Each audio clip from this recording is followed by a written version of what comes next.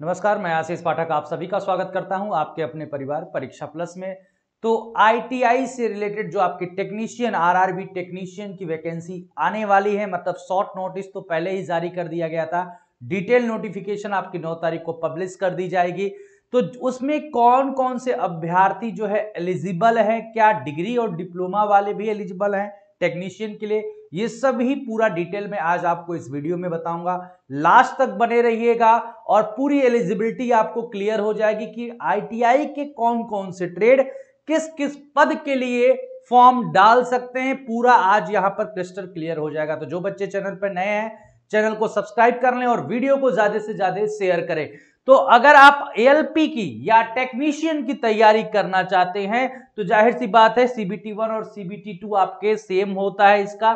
तो आप परीक्षा प्लस एप्लीकेशन इंस्टॉल कर लीजिए या live dot Pariksha plus dot O R G आप ओपन करिए। वहाँ से आप जाएँगे तो आरआरबी के कोर्स में आपको दो कोर्सेज चल रहे हैं। एक हमारा चल रहा है एएलपी प्लस टेक्नीशियन मात्र 499 में आपको पूरा सीबीटी वन और सीबीटी टू दोनों की प्रिपरेशन कराई जाएगी। और बाकी बच्चे जो अगर आईटीआई नहीं किए हुए हैं, आप नॉन टेक्निकल हो और प्रिपरेशन करना चाहते हो, जो एनटीपीसी आने वाली है उसकी तो आप एनटीपीसी के कोर्स से भी इनरोल्ड हो सकते हैं। दोनों कोर्सेस आपके पैरेलल चल रहे हैं। तो चलिए आप बात करते हैं कि क्या रहेगी आपकी एलिजिबिलिटी क्राइटेरिया कौन कौन से ट्रेड किस किस के फॉर्म भर सकते हैं। उससे पहले आपको जानना होगा कि आप मेडिकली फिट हैं कि नहीं।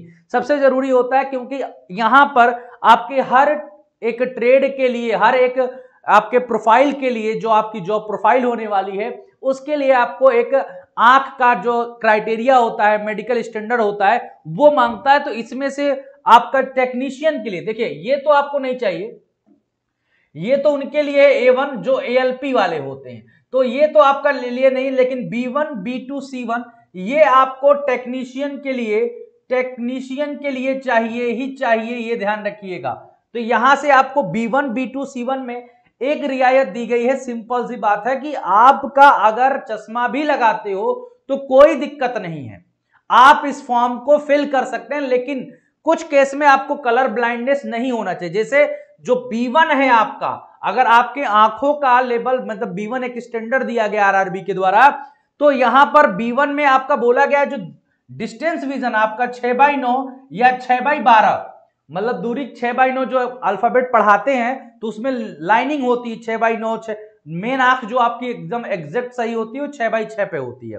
तो अगर आप चश्मा या बिना चश्मे के छह बाई नौ और छह बाई बारह है आपकी आँख तो आप एलिजिबल हो बी वन जहाँ जहाँ आपको मांगेगा। साथ ही साथ आपका जो पावर का लेंस होना चाहिए, वो फोर डायोक्टर से ज़्यादा नहीं होना चाहिए। Near vision point six point six आपका विद और विदाउट ग्लास है, आप एलिजिबल हो। लेकिन ये आपको पास करना पड़ेगा colour vision binocular vision night vision और मेसोफिक विजन का जो टेस्ट है मतलब कलर विजन आपके पास नहीं होना चाहिए। B2 में क्या है? अगर 6 बाई नौ और 6 बाई बारह है, आपका विथ और without glass power of lens not to exceed 4D मतलब आपका 4D से ज़्यादा पावर नहीं होना चाहिए। बाकी आप यहाँ पर बोला है कि आपको बाइनोकुलर विजन आप पास किए हों। Close work is required must pass test of binocular colour vision रहेगा तो चल सकता है क्योंकि यहाँ पर डिटेल कलर विजन का नहीं दिया। लेकिन जहाँ पर बी वन मांगा है, वहाँ कलर विजन भी पास करना पड़ेगा आपको।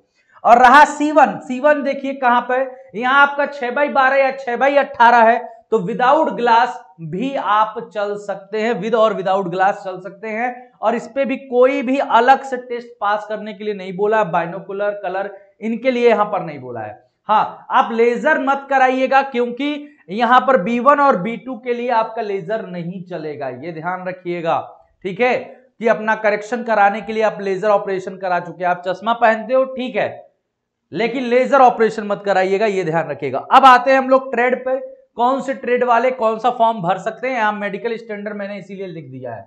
मैक्सिमम मेडिकल स्टैंडर्ड इसमें बी वन सी वन है बी टू कहीं कहीं है। ये ध्यान रखिएगा। तो चश्मा वाले एकदम एलिजिबल हो, बेफिक्र रहिए आप, निश्चित तौर पे आप एलिजिबल हैं, ठीक है? जिसका चार डी से पावर ज़्यादा नहीं है। आप अपना चेक करा लीजिएगा। Technical grade third blacksmith एक पोस्ट होती है, ये पोस्ट है आपका टेक्नीशियन का। Technician grade third blacksmith का, इसमें आपको टेंथ के साथ, ये आपका टेंथ के साथ आपने आईटीआई किया है, किस ट्रेड से?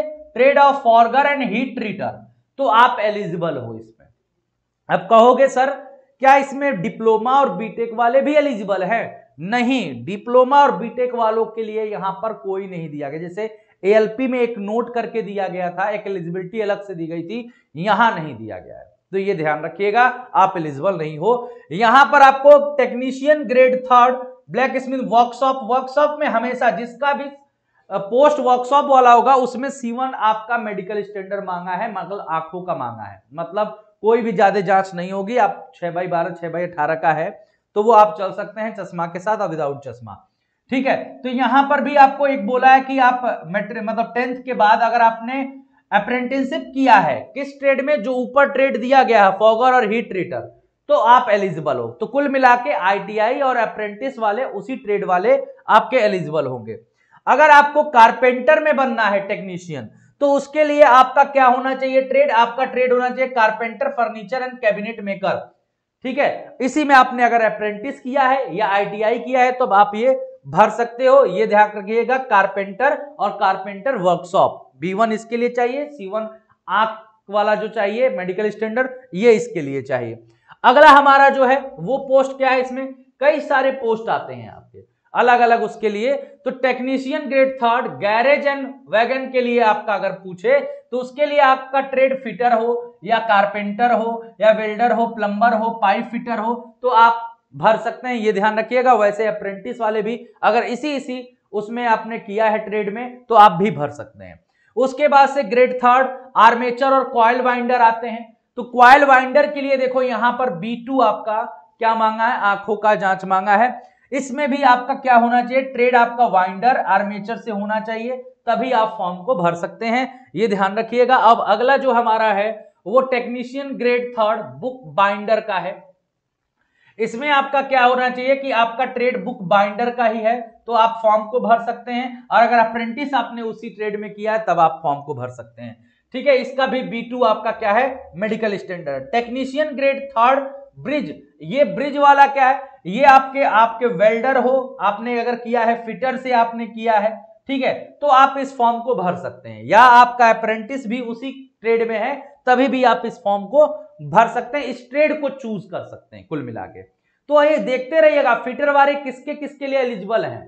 ठीक है? जितने भी जगह पे फिटर लिखा है कारपेंटर लिखा है, वो कहाँ कहाँ आप किस किस पद को आप भर सकते हो तो वो पद टिक लगाने के लिए, आपके लिए सही रहेगा। अब देखो, यहाँ पर क्रेन ड्राइवर आ गया। क्रेन ड्राइवर के लिए आपका क्या चाहिए? मटेरियल हैंडिंग ट्रेड चाहिए, है ना? उसके बाद से आपका मोटर व्हीकल चाहिए, कम ऑपरेटर चाहिए यहाँ पर। तो वो सी ट्रेड के हो तो आप क्रेन आप ड्राइवर का फॉर्म फिल कर मतलब ट्रेन ड्राइवर का जो टेक्नीशियन होंगे, उनके लिए आप अप्लाई कर सकते हैं। उसके बाद से technician grade third diesel electrical इसके लिए आपको क्या क्या चाहिए? या तो आप इलेक्ट्रीशियन ट्रेड के हो mechanic auto electrical and electronics के हैं वायरमैन से किए हैं, या इलेक्ट्रॉनिक्स मैकेनिक से किए हैं, या मैकेनिक पावर इलेक्ट्रॉनिक्स से किए हैं, इनमें से कोई भी ट्रेड होगा तो आप इस फॉर्म को मतलब इस वाले पोस्ट को आप अप्लाई कर सकते हो, ठीक है? ऐसे ही ये डीजल इलेक्ट्रिकल एंसिलरी मैकेनिका है ना मैकेनिकल ये आप अगर टिक करना चाहते हैं तो आप ये भी दोनों आपके मतलब ये दोनों पोस्ट के लिए एलिजिबिलिटी सेम है। इन दोनों पोस्ट के लिए eligibility technician grade third diesel electrical ancillary और मैकेनिकल इन सभी के लिए आपके क्या है, ये जो आपके दिया गया है एजुकेशन क्वालिफिकेशन आपका सेम है। उसके बाद से डीजल मैकेनिकल है ना? मैकेनिकल के लिए आपका डीजल मैकेनिकल के लिए। आप देखो, सेम चीज़ है मैकेनिकल डीजल या फिटर। फिटर वाले यहाँ भी आएँगे। अगर आपका ट्रेड फिटर है ना तो बहुत जगह आप बहुत सारे पद आप अप्लाई कर सकते हैं। ठीक है? और उसके बाद से रिपेयर एंड मेंटेनेंस है। Mechanic automobile advance diesel engine से आपने किया है। मैकेनिक मोटर व्हीकल से किया है, या ट्रैक्टर मैकेनिक से किया है, या वेल्डर से किया है, या पेंटर से किया मतलब इस पद के लिए आपके पेंटर वेल्डर फिटर है ना? मैकेनिक डीजल ये सभी आपके अप्लाई कर सकते हैं। टेक्नीशियन डीजल मैकेनिकल के लिए, ठीक है? वो और यहाँ आंसिलरी के लिए, यहाँ पर आपके सेम चीज़। दोनों पद के लिए आप अप्लाई कर सकते हो, जिनके पास ये ट्रेड है, ठीक? इसके बाद से आपका आता है इलेक्ट्रिकल वाला। टेक्नीशियन ग्रेड थर्ड इलेक्ट्रिकल इसके लिए भी आपका क्या क्या ट्रेड होना चाहिए? इलेक्ट्रीशियन है या वायरमैन का है? इलेक्ट्रॉनिक्स मैकेनिक है या मैकेनिक पावर इलेक्ट्रॉनिक्स है? या मैकेनिक मेकाट्रॉनिक्स है। तो अगर आपने इन ट्रेड से आपने किया है तो आप टेक्नीशियन ग्रेड थर्ड इलेक्ट्रिकल बन सकते हैं, ये ध्यान रखिएगा। तो ये ट्रेड कहाँ कहाँ आ रहा है, आप देख लीजिएगा कि आपका ट्रेड क्या है और ये किसमें किसमें पूछा हुआ है। ठीक है, उसको उसको आप टिक लगा दीजिएगा। अब यहाँ पर देखो इलेक्ट्रिकल पावर वाला ये और उसके बाद से electrical train lightning electrical TRD ये सभी टेक्नीशियन के लिए एक ही आहारता चाहिए। एक ही आहारता चाहिए, वो क्या चाहिए? वायरमैन या इलेक्ट्रीशियन या मैकेनिक एचटी या एलटी इक्विपमेंट केबल ज्वाइंटिंग या इलेक्ट्रॉनिक्स मैकेनिक अगर आपके पास इन ट्रेड से आईटीआई है तो आप फॉर्म को फिल पोस्ट को आप डाल सकते हैं, ये ध्यान रखिएगा।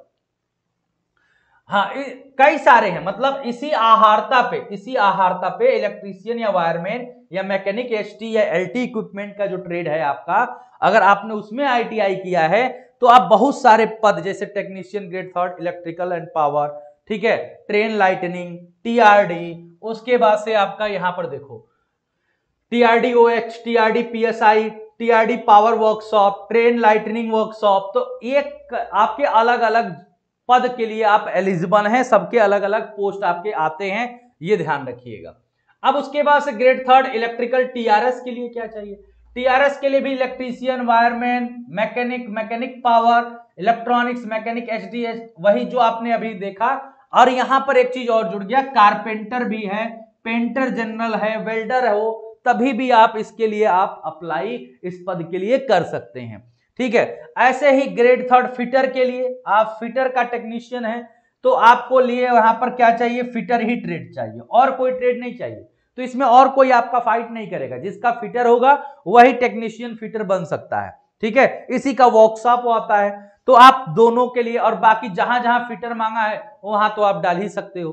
तो ये आपके लिए बहुत बेस्ट ऑप्शन है कि आप कई सारे पद चूज़ कर सकते हैं अकॉर्डिंग टू द ट्रेड अपने ट्रेड के अकॉर्डिंग अब जैसे फर्निशिंग है टेक्नीशियन तो इसमें फिटर भी चलेगा कारपेंटर भी चलेगा फर्नीचर एंड कैबिनेट मेकर भी चलेगा। तो फिटर का तो एकदम फ़ायदा फ़ायदा है। फिटर वाले मैक्सिमम जगह आप देख रहे हो कि आप, आपका पद मांगा गया है। अब यहाँ ग्राइंडर में देखो तो ग्राइंडर में आपका ट्रेड ऑफ़ मैकेनिस्ट ग्राइंडर यहाँ एक ही ट्रेड मांगा है मैकेनिस्ट ग्राइंडर वही आपका चलेगा ग्राइंडर के टेक्नीशियन के लिए। अगला है हमारा। हाँ इसमें देखो, अगर आपका जैसे मैकेनिस्ट है इलेक्ट्रिकल में, डिपार्टमेंट में तो उसके लिए मैकेनिस्ट टर्नर और मैकेनिस्ट ग्राइंडर मांगा है। अगर आप मैकेनिस्ट हैं मैकेनिकल में, ठीक है तो भी आपका यही आहारता होगा। अगर आपका मैकेनिस्ट है वर्कशॉप वाले में तो सेम एलिजिबिलिटी आपकी रहेगी। एक के लिए आँखों का स्टैंडर्ड बी टू होगा और बाकी इन दोनों के लिए आँखों का स्टैंडर्ड सी वन होगा। वर्कशॉप वाले में मैक्सिमम स्टैंडर्ड सी वन होता है। ये ध्यान रखिएगा। अब ग्रेड थर्ड मैसन का आपका अगर बोला तो इसके लिए आपको क्या होना चाहिए? मैसन बिल्डिंग कंस्ट्रक्टर में ट्रेड में अगर आपने किया है आईटीआई तब आप एलिजिबल हो। उसके बाद से यहाँ पर बोला है मैकेनिकल ये आपका ग्रेड थर्ड का। तो इसमें भी फिर से आपके वही आ जाएँगे फिटर वेल्डर देखो फिटर इसमें भी आ गया वेल्डर भी आ गया मैकेनिस्ट मैकेनिस्ट ग्राइंडर भी आ गया।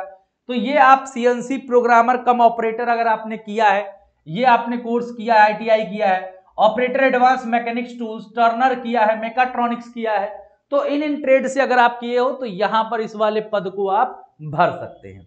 इसके बाद से यहाँ पर मिल राइट वाले आते हैं तो ये आपके सीवन इसमें चाहिए, आँखों का स्टैंडर्ड इसके लिए आपको क्या चाहिए? कम से कम आप mechanic mechanic machine tools maintenance mechanic advance machine tool maintenance में अगर आपने डिप्लोमा किया है मतलब आईटीआई किया है तो वो आप चलेगा। Millwright maintenance mechanic mechanic machine, tools, maintenance, इन सभी ट्रेड में अगर आपने किया है तो आप मिल राइट का फॉर्म भर सकते हैं मतलब पद को भर सकते हैं, ये ध्यान रखिएगा। उसके बाद से थर्ड वाला है, यहाँ पर technician grade third motor vehicle driver cum mechanic ठीक है? तो इसके लिए भी आपका क्या होना चाहिए? Mechanic motor vehicle driver cum fitter driver cum mechanic इन सब में आपका ट्रेड है तो इस पद को आप भर सकते हो। और इसके साथ साथ आपसे एक चीज़ और मांगा है should possess a valid driving licence for driving light duty and heavy duty vehicle light duty और हैवी ड्यूटी व्हीकल का लाइसेंस आपके पास होना चाहिए, ये ज़रूरी है इसके लिए। उसके बाद से मल्टी स्किल फ़िल्टर फिटर आपका अगर टेक्नीशियन बनना है इसमें तो इस पद के लिए आपके पास सेम चीज़ फिटर चाहिए वेल्डर मैकेनिस्ट होगा। और उसके बाद से आपका बाकी, उसी में अप्रेंटिस अगर आप इसी ट्रेड में किए हैं तो आप एलिजिबल होंगे। इसके बाद आपका हम आते हैं तो बहुत सारे पद निकलते हैं, आप ध्यान रखिएगा। इसमें आपका पेंटर आ गया। तो पेंटर के लिए आँखों का किसी किसी में बी वन माँगता है, किसी किसी में सी वन माँगता है डिपार्टमेंट में डिपेंड करता है। तो उसके लिए आपका पेंटर जनरल आपने ट्रेड से किया है डोमेस्टिक पेंटर किया है इंडस्ट्रियल पेंटर किया है, या इसी ट्रेड में आपने अप्रेंटिस किया है। तो आप एलिजिबल हो गए। अप्रेंटिस वाले और आईटीआई वाले, यही तो एलिजिबल हैं, बाकी और कोई नहीं। उसके बाद से परमानेंट वे का एक पद आता है टेक्नीशियन का। इसमें आपका फिटर वेल्डर मैकेनिस्ट ग्राइंडर ये सभी आपके एलिजिबल हैं। तो फिटर वाले देख लो, जो जो फिटर वाले हैं, उनके लिए बहुत सारे पद होते हैं, आप डाल सकते हैं। ये ध्यान रखिएगा। इसके बाद से आपका प्लम्बर एंड पाइप फिटर आते हैं। तो यहाँ पर देखो पाइप फिटर प्लम्बरिंग आपने ट्रेड से किया है, तभी आप डाल सकते हो। उसके बाद से आपका पंप ऑपरेटर आता है टेक्नीशियन तो उसके लिए आपका trade pump operator cum mechanic या यूटिलिटी ऑपरेटर अगर आपका ट्रेड है तो आप भर सकते हैं, इस पद को डाल सकते हैं, अपने प्रेफरेंस में ये ध्यान रखिएगा। इसके बाद से आपका एयर कंडीशनिंग वाला जो आ जाता है रेफ्रिजरेशन एंड एयर कंडीशनिंग तो उसके लिए आपका क्या क्या ट्रेड हो आना चाहिए? Refrigeration and air conditioning mechanic electrician वाले भी डाल सकते हैं इसको वायरमैन वाले भी डाल सकते हैं इलेक्ट्रॉनिक्स मैकेनिक वाले भी इसको डाल सकते हैं। अगर आप इनमें से कोई भी ट्रेड आपने किया है आईटीआई में, या अप्रेंटिस किया है तो आप इस वाले पद को डाल सकते हैं।